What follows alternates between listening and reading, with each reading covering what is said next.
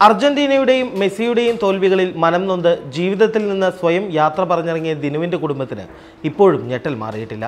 മകന്റെ അവസ്ഥ മറ്റൊരു കുട്ടിക്കും ഉണ്ടാകരുതേ എന്ന പ്രാർത്ഥനയിലാണ് ദിനുവിന്റെ അച്ഛൻ അലക്സാണ്ടറും അമ്മ ചിന്നമ്മയും സർക്കാർ ജോലിയും വിവാഹവും എന്ന ചിരകാലാഭിലാഷം സാക്ഷാത്കരിക്കുമെന്ന് ഉറപ്പായ ഘട്ടത്തിലായിരുന്നു ദിനുവിന്റെ കടുങ്കൈ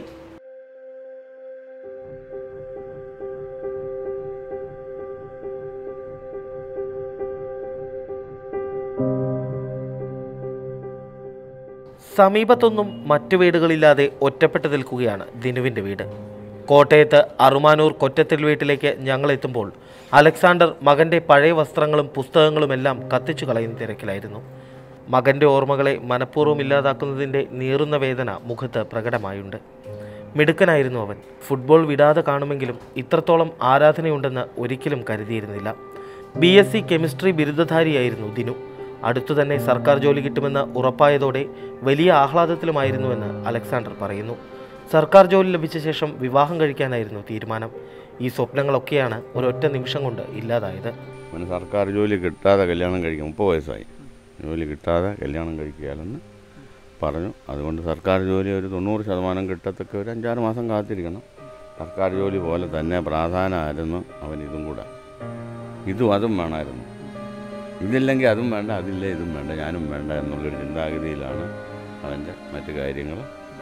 പുലർച്ചെ പന്ത്രണ്ടരയോടെ ടി വിയുടെ വെളിച്ചം കണ്ട് എഴുന്നേറ്റ് വന്ന അലക്സ് ദിനുവിനോട് ഉറങ്ങാൻ പറഞ്ഞ് കിടക്കാൻ പോയി. പുലർച്ചെ എഴുന്നേറ്റ് അമ്മ ചിന്നമ്മ നോക്കിയപ്പോൾ ദിനുവിന്റെ മുറിയിൽ ലൈറ്റ് ഇല്ലായിരുന്നു അടുക്കളവാതിൽ തുറന്നു കിടക്കുന്നതാണ് കണ്ടത്. കള്ളൻ കയറിയതാകാമെന്ന് കരുതി അവർ ദിനുവിനെയും അലക്സിനെയും വിളിച്ചു. എന്നാൽ ദിനു വന്നില്ല. വീണ്ടും മുറിയിൽ ചെന്ന് നോക്കിയപ്പോൾ കണ്ടത് ദിനുവിന്റെ ആത്മഹത്യാക്കുറിപ്പായിരുന്നു. എന്നിട്ടും ആ അച്ഛനും അമ്മയുമെല്ലാം കാത്തിരുന്നു. മകൻ തിരിച്ചു വരും എന്ന് തന്നെ കരുതി. പക്ഷേ അതുണ്ടായില്ല. രാവിലെ ഏഴരയോടെ മീനച്ചിലാറിൽ ഇല്ലിക്കൽ പാലത്തിന് കിഴക്കേക്കരയിൽ നിന്ന് ദിനുവിന്റെ മൃതദേഹം ലഭിച്ചു. ഏകമകനെ അവസാനമായി ഒരു നോക്ക് കാണാൻ പോലും ഇരുവർക്കും കഴിഞ്ഞില്ല. രണ്ട് ദിവസം വെള്ളത്തിൽ കിടന്നതിനാൽ മൃതശരീരം വീട്ടിലെത്തിയപ്പോൾ പെട്ടിയിൽ നിന്ന് പുറത്തെടുത്തില്ല. അലമുറയിട്ട് കരഞ്ഞ് പെട്ടി തുറക്കാൻ ശ്രമിച്ചുവെങ്കിലും അത് നടക്കാതെ വന്നതോടെ മകന്റെ ഫ്രെയിം ചെയ്ത ഫോട്ടോ കെട്ടിപ്പിടിച്ചായിരുന്നു ആ അമ്മ പ്രാർത്ഥനകളിൽ പങ്കെടുത്തത്. അവൻ മണപ്പുറം ഫൈനാൻസിൽ നാല് കൊല്ലം ജോലി ചെയ്തു. അത് കഴിഞ്ഞ് വടക്കേ ഇന്ത്യയ്ക്ക് പോകണമെന്ന് പറഞ്ഞു. പുള്ളിക്ക് കേരളം വിട്ടുള്ള പരിപാടി ഇഷ്ടമല്ല. അങ്ങനെയൊക്കെ നിൽക്കുന്ന കാര്യത്തിലാണ് ഇപ്പോൾ അർജന്റീന തൂക്കും തൂറ്റത് കൊണ്ടാണ് ഇത് ദുരന്തം സംഭവിച്ചത് അതുകൊണ്ട് ഞാൻ പോവുകയാണ്. എനിക്കിത് താങ്ങാൻ പറ്റിയാൽ എഴുതി വെച്ച് ആണ് പോയത്. ചെയ്യുന്ന ജോലിയോടെല്ലാം ആത്മാർത്ഥത കാണിച്ചിരുന്ന ദിനുവിനെ എല്ലാവർക്കും ഇഷ്ടമായിരുന്നു.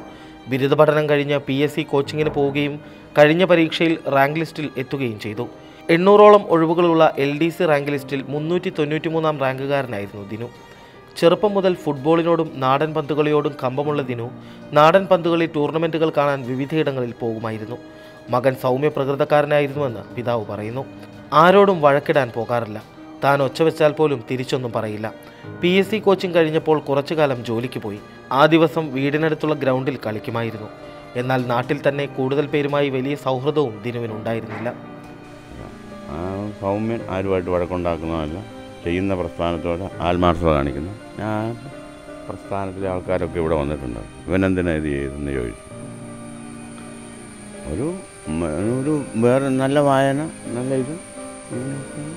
രീതിക്കാരനായിരുന്നു കഴിഞ്ഞ ദിവസം ദിനുവിന്റെ മുറിയിൽ നിന്ന് കണ്ടെത്തിയ ബുക്കുകളിലെ കുറിപ്പുകളിൽ ദിനു മെസ്സി അലക്സ് എന്ന പേരിനൊപ്പം ചേർത്തിരിക്കുന്നത് ഉൾപ്പെടെ കണ്ടപ്പോഴാണ് വീട്ടുകാർ പോലും മെസ്സിയോട് ഇത്ര കടുത്ത ആരാധനയുണ്ട് മകന് എന്നറിയുന്നത്. മെസ്സിയുടെ പേരെഴുതിയ അർജന്റീനയുടെ ജേഴ്സി തിരഞ്ഞ് ദിനു നഗരത്തിലെ നാലു കടകളിൽ കയറി ഇറങ്ങുകയും ചെയ്തിരുന്നു.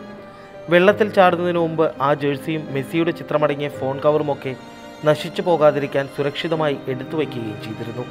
മൊബൈൽ ഫോണിനു വേണ്ടി മെസ്സിയുടെ ചിത്രമടങ്ങിയ കവർ നഗരത്തിലെ കടകളിൽ നിന്ന് കിട്ടാതായപ്പോൾ ഓൺലൈനിൽ ഓർഡർ ചെയ്താണ് അത് വാങ്ങിയതെന്നാണ് ദിനുവിന്റെ സഹപ്രവർത്തകർ പറയുന്നത്.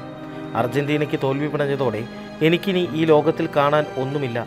മരണത്തിന്റെ ആഴങ്ങളിലേക്ക് പോവുകയാണ്. എന്റെ മരണത്തിൽ ആർക്കും ഉത്തരവാദിത്തമില്ല. ഇങ്ങനെയൊരു കത്തെഴുതി വെച്ചാണ് ദിനു മരണത്തിലേക്ക് നടന്നു പോയത്